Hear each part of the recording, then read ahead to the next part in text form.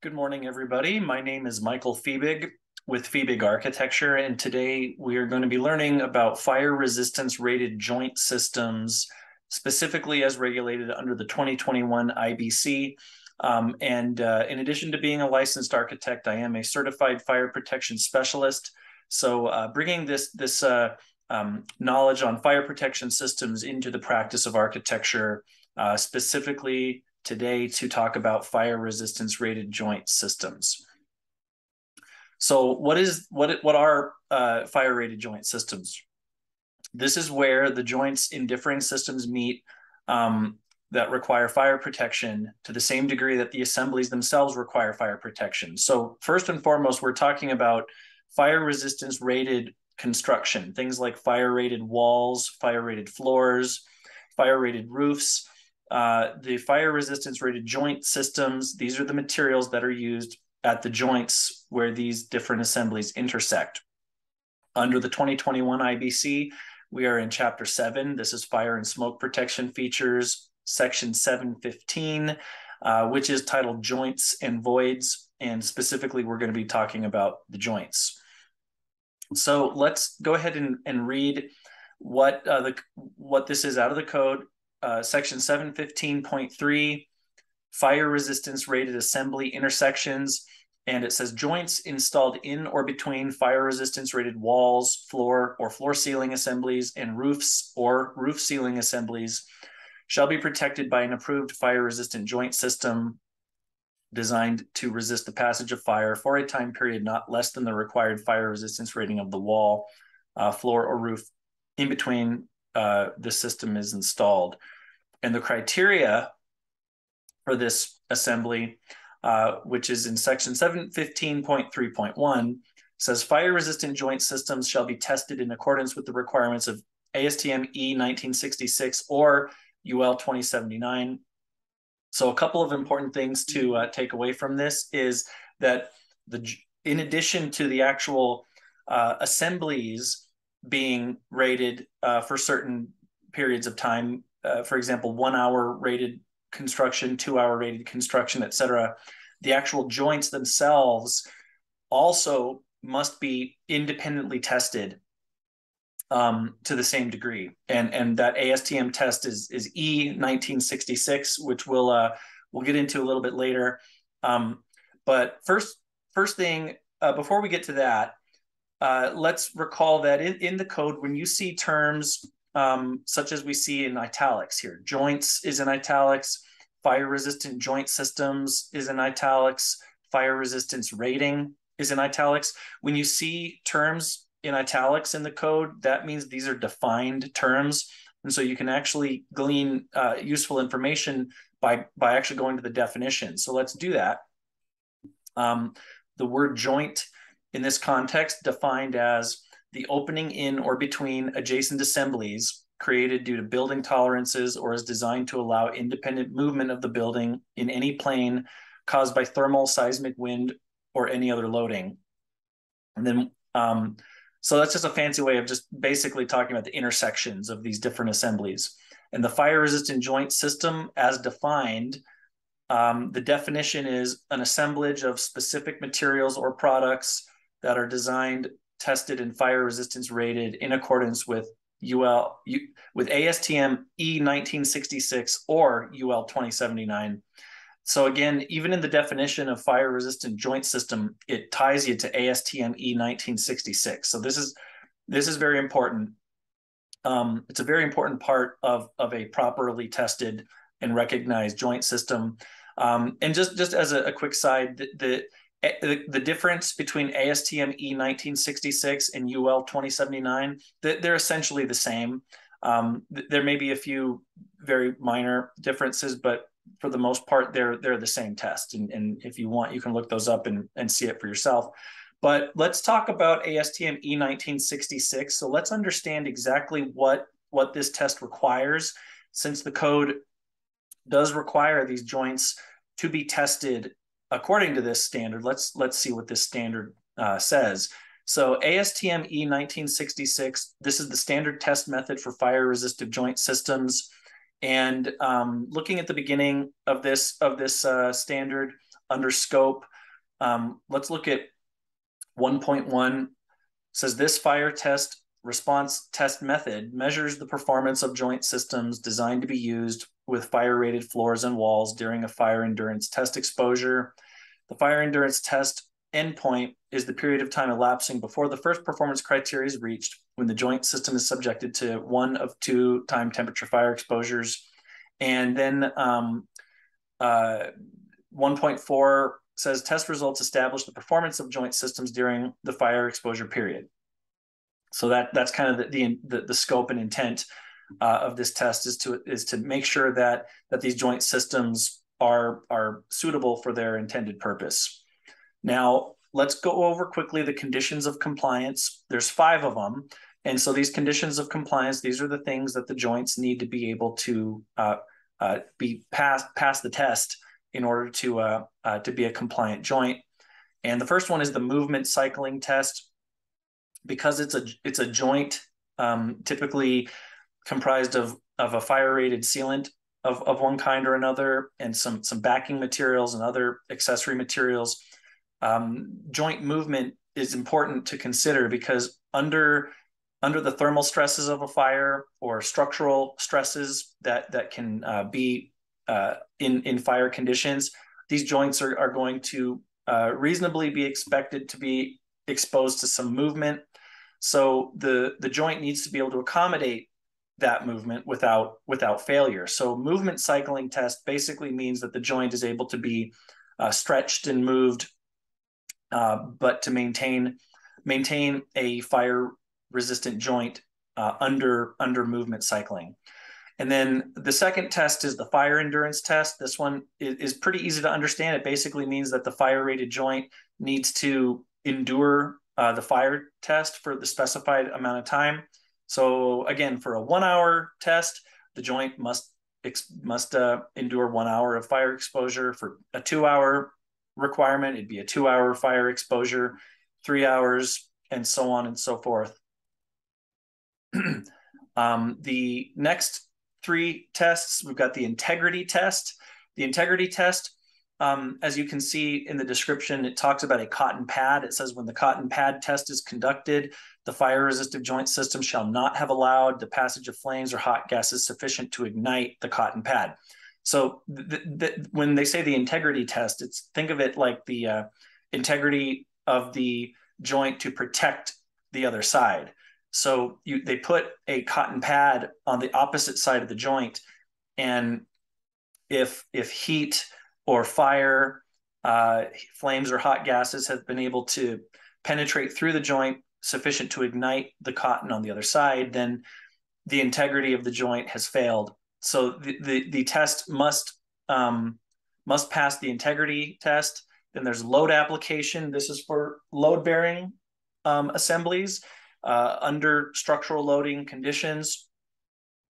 Um, there are there are when it comes to fire resistance rated floors and wall systems, there there are non-load bearing wall rated partitions and walls, and then there are load bearing walls. So if it if it's a load if it's if if it's a load bearing application, then obviously the joint needs to be able to accommodate the structural loads that are applied as part of the test. And uh, it simply requires that the joint system shall have sustained the applied load for the full resistance period. And then we have the hose stream test, which uh, is in the context of like an active firefighting operation where the firefighters are spraying water uh, in and around the building. The idea is that the joint needs to be able to withstand a, a, stream of water from the hose from the fire hose without the hose actually damaging or uh, uh, destroying the joint. So the hose stream test, it says that the fire resistive joint system shall have withstood the hose stream test without developing any openings that permits a projection of water from the stream beyond the unexposed surface. So the those are the five um, tests that need to be passed for a for a compliant fire resistance rated joint system. And just as a side note, these are very similar to the tests required for ASTM E119. And, and the E119 test is the standard test method for the fire test uh, of building construction materials. So while the actual walls and floors and roofs, those are going to be fire tested to E119.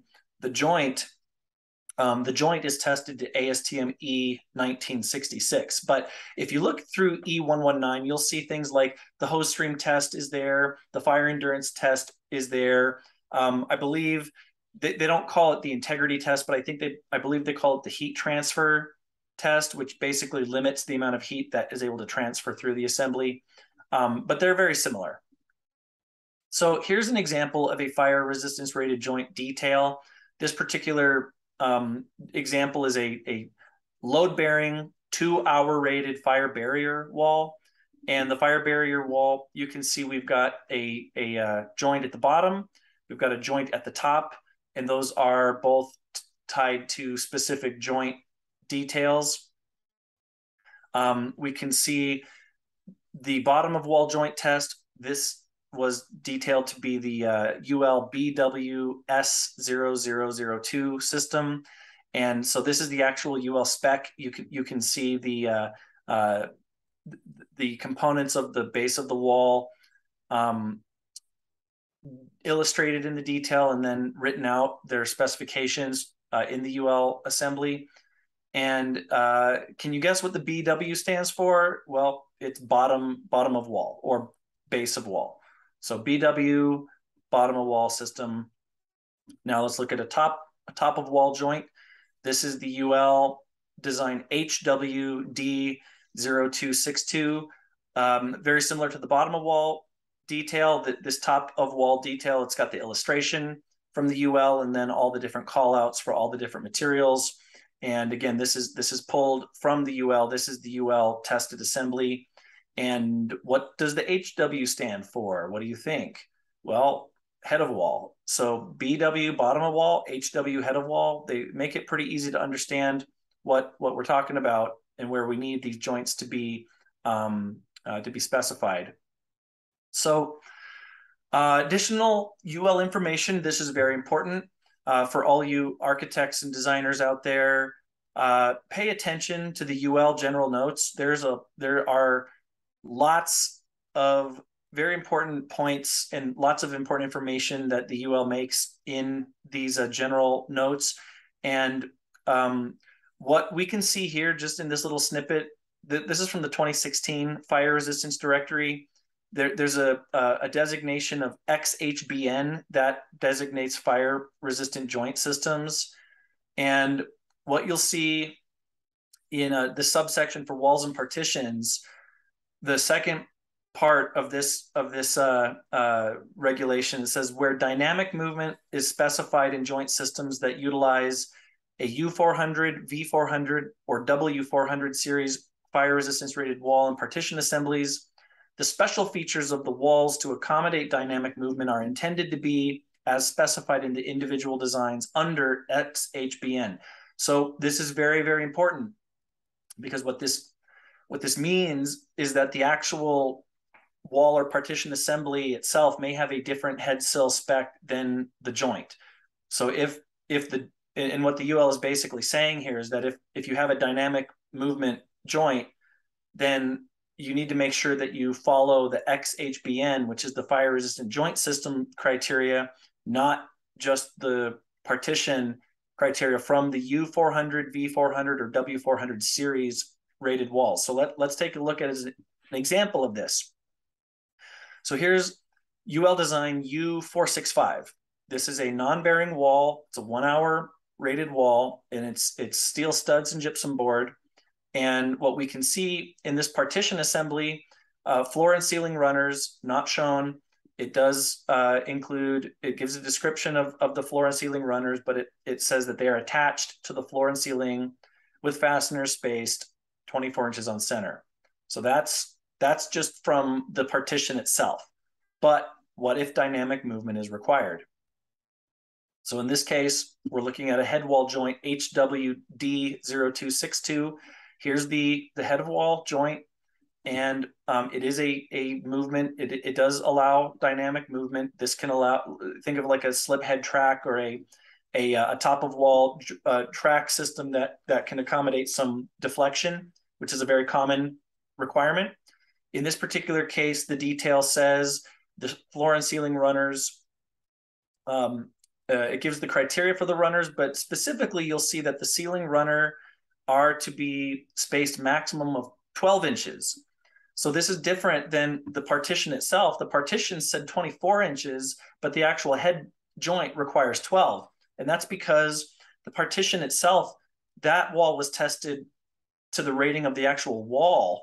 That particular test wasn't intended to um, to test the, the a dynamic head joint. And so the dynamic head joint detail per per the UL this will supersede the requirements of the partition because this dynamic head joint uh, assembly does accommodate movement. And as tested, it required fasteners twice that that would, would have been required in a, a, uh, a rated partition that does not require dynamic movement. So uh, you can conclude from that that under fire conditions, the dynamic head uh, detail requires more fasteners to be uh, robust and hold up under fire, actual fire conditions. And so in this case, the uh, proper detail would, would include um, a specification of fasteners every 12 inches on center, not, not 24. So this, this is very important as an architect or a designer that you are aware of this. And for contractors and builders out there, um, if you're working on a, a project where you have fire rated walls and, and uh, head joints make sure that the proper the proper system is is uh, is being installed. So a couple of takeaways here. Uh, fire rated joints are separate systems distinct from the rated assemblies that they protect. So that's that's very very important. These are unique and distinct systems. The the joint the best way to think about it. Just keep in mind the joints are um, they they, are, they have to be individually specified for any given project to the same degree that the, the actual rated partitions and assemblies have to. And then number two is that a tested joint system is required to be specified. You saw that in the definition of fire resistance rated joint system. It actually says that it has been tested in accordance with ASTM uh, 1966. That that means that you can't just you can't just specify um, like generic fire caulking and be done with it and just say, here's a bead of, of one hour fire caulking and that's my joint. It actually has to be tested. So you need to make sure that um, where, where necessary, that an actual tested system is specified.